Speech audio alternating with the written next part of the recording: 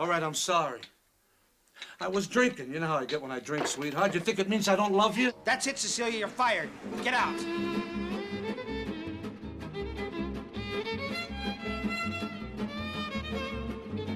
So what were you thinking about? Oh, a penthouse, the desert, oh kissing on a dance floor.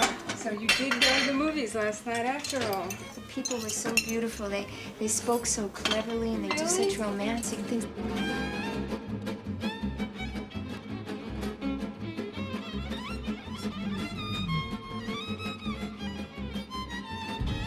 Who the hell are you? You mean me? How can he come off the screen? It's impossible. It's never happened before in history.